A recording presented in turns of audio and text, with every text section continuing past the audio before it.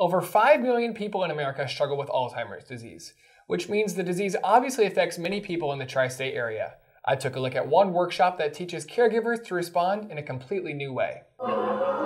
You might guess they're here for voice lessons.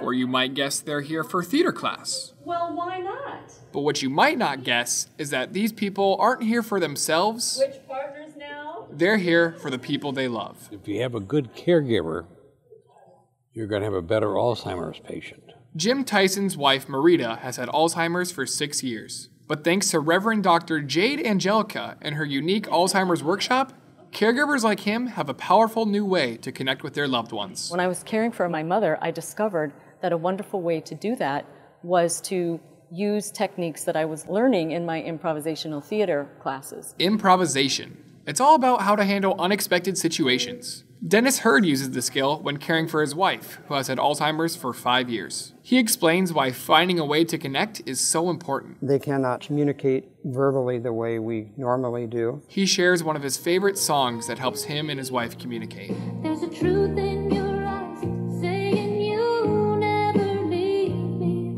The loved ones written on their name tags might not understand why their caretakers are here, but the fact of the matter is that this is all for them. You say when you say nothing at all. That was a really moving story to cover and truly a special thing to be able to share in those moments with those caregivers.